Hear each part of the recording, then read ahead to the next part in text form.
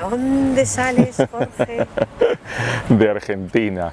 Eh, país que amo profundamente, que me encanta y, que hay que resistirlo también, vivir ahí es, es toda una, resistencia, pero que amo profundamente. Y del, palo del teatro, el mundo del teatro, que es, lo, que, lo que me encanta. Eh, la trayectoria aquí, esta es la, cuarta obra, eh, tuve la suerte de, de, poder este, tener en cartel, la primera obra que, tuve aquí en cartel fue eh, Solas No Más, que estuvo en 2000, 2010, 2011, dos años eh, aquí en, en Madrid, eh, que fue un, un, gusto muy grande, que ganó los dos años consecutivos el Circuito Artes eh, y arranqué con una comedia, eso era una comedia, ya me olvidé de cuando trabajaba con comedias. y era una comedia que había estado seis años en Argentina y que habíamos tenido la, suerte de tenerla en, el país y después este, hicimos eh, eh, gira por Bolivia y funciones en Bolivia y después la vine a hacer acá con, elenco español. Eh, luego la segunda la segunda obra que, que, tuve aquí fue gracias a Ibresena, gané la coproducción de la posibilidad de en Ibresena hacer una obra que también hice en Argentina, que se llama Cuando el tiempo está después, que era una versión eh, libre y contemporánea de La vida sueño de Calderón. Eh, que me daba como, como mucho temor porque me presenté ver escena y era una, una versión bonaerense, era del, del, tercer cordón de, de, de, Buenos Aires y yo decía, lo van a tomar cómo, de qué manera y, y por suerte lo tomaron como lo, como lo que fue, una, una versión actual de, La vida sueño. Y la tercera fue en Galicia, eh, que tuve la suerte de, de dirigir en, en gallego. Eh, cosa para la, para la cual me, ya me venía preparando, porque me gusta mucho el, el, el, idioma gallego, así que ya me venía preparando y me, me sorprendió que fue oportunidad única, que, que, le hice solamente fue en Galicia y este trabajo por el que estoy acá, que es Wake Up Woman, es, sería el, el, cuarto trabajo que monto aquí en España. Wake Up Woman es una, una historia de amor muy triste porque entre medio de esa historia de amor aparece la violencia de género y, se transforma en la historia de dos seres que, que no tienen piso, no tienen suelo donde pisar, que, que su vida es un abismo hacia un agujero y del cual ninguno de los dos quiere estar, ni, ni víctima ni victimario. Y, y bueno, del cual les es muy difícil salir. Eh, es un trabajo que, que, duele mucho y, que particularmente me gusta mucho, y, pero es muy doloroso eh, porque es un... Siempre digo que Wake Up Woman es como, como un grito, eh, como un grito no es una obra, es una experiencia de vida dirigir este espectáculo. Y lo que nos pasa en el proceso a los actores, a mí, es, es cómo esto se transforma en una experiencia de vida para nosotros, para después luego poder traspasarlo al, al espectador. Así que para mí es mucho más que una obra y, y bueno y, y, la vida hace que recurrentemente la vaya dirigiendo por el mundo por suerte y, y es un privilegio poder hacerla poder encontrarse con actores que, que, que se animen que se, animen, se comprometan a, a, trabajar con este espectáculo. Y, aquí tengo el gran gusto de trabajar con dos actores que, están más que comprometidos con, con la causa con, con la función artística y social que tiene eh, este espectáculo y, bueno, y ahora estamos transitando este proceso de, llevar adelante el trabajo. Eh, los dos actores con los que trabajo aquí son los dos bombones de Cecilia Sarli y Chema Coloma que están comprometiéndose de una manera preciosa y, me están haciendo tener una visión absolutamente positiva del talento con el que cuentan aquí, aquí en España. Así que estoy feliz con eso y, feliz con ellos dos. Porque es una experiencia más que una obra.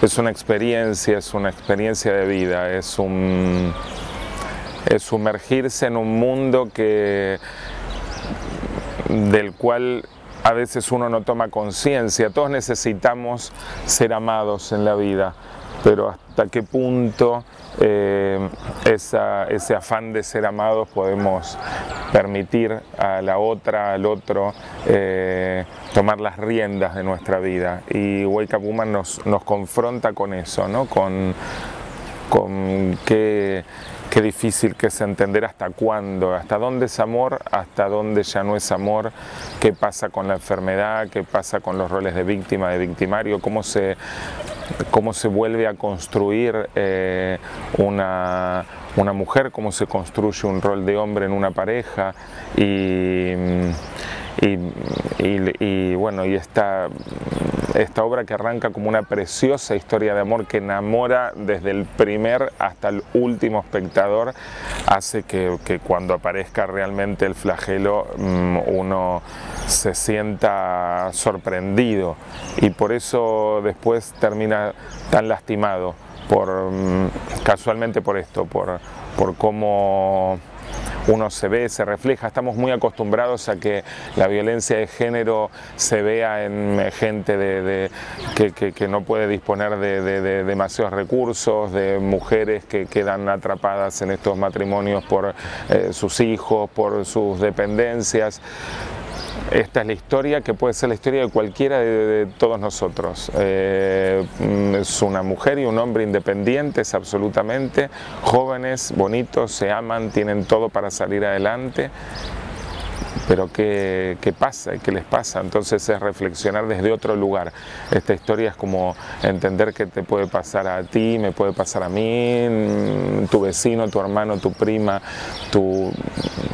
todos tenemos algo de Natalia, todos tenemos algo de Federico dentro y, y eso es lo fuerte, ¿no? ¿Qué pasa con nosotros? Y el espectador es muy, muy, muy agradecido al salir el espectáculo por todo lo que vivimos juntos a lo largo de esta hora y diez de espectáculo, todo lo que, lo que sobrellevó durante todo ese tiempo. Entonces es una experiencia de vida que, que creo que acá en España, aquí en España va a funcionar de la, de la misma manera y con la misma intensidad.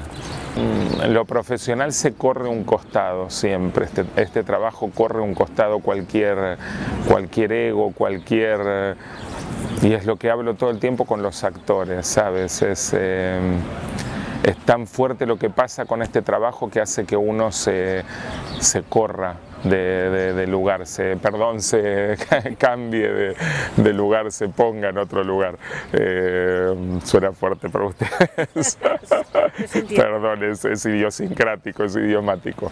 Eh, lo que sucede es que es la posibilidad de, seguir eh, todos los actores, siempre, todas las producciones, cada vez que trabajamos con los actores, siempre la gente dice, esta obra debería verse en todo el mundo.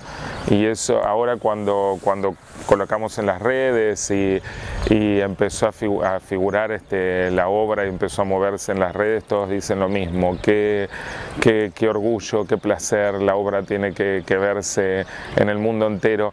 Y eso es lo que, ese gran desafío es lo que, lo que se genera, todo lo que pasa después con los espectadores, lo que moviliza, lo que hace, es un para uno que, es un convencido de que el teatro no solo, si bien es un, divertimento y tiene que ver con, el placer artístico y cultural, también tiene un, gran desafío social y, bueno, es, esta obra cumple con todo eso, entonces genera, para todos nosotros genera otra cosa distinta. Eh, para mí cada puesta en cada país significa conocer a otra gente, que la gente pueda escuchar estas voces, este discurso tan fuerte contra la sensibilización para la violencia de género.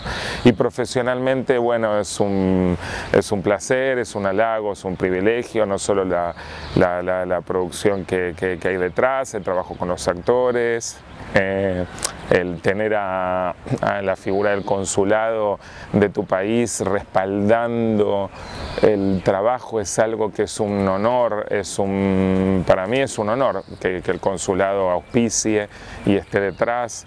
Y, y, bueno, eso, profesionalmente es un, gusto grande que uno se puede dar de, vivir aquí, de estar aquí, de, dirigir actores que, hacen tu texto con, otra, con otro tono, con otra fonética. Eh, siempre eso es, es muy bonito, ver, eh, adaptar el texto, trabajar, naturalizarlo y que el actor después le pone palabra a un texto que salió desde algo tan íntimo, desde una investigación tan, tan seria que se hizo tan profunda y de repente se hace en otro país y, te encuentras con, actores que están hablando así tu texto y dices, wow, qué lindo.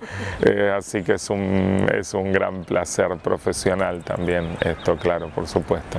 Muy bien, pues nada, solamente queda que, el público vaya a verlo que nos venga a ver los sábados a las 22.15, la sala 9 Norte, preciosa, Metro Noviciado, eh, que está en Malasaña, un precioso lugar, me encantó la sala, me encantó, eh, contactamos con ellos, ya yo no la conocía y la conocí al llegar aquí, me encantó, creo que es el marco precioso para, para el espectáculo, así que a todas, a todos los esperamos, sábados 22.15 horas, a partir del 6 de abril, Sala 9 Norte Teatro, Malasaña, Metro Noviciado. Pues mucha mierda. Bueno, muchísimas gracias. Gracias por este tiempo, por la nota, gracias a ustedes.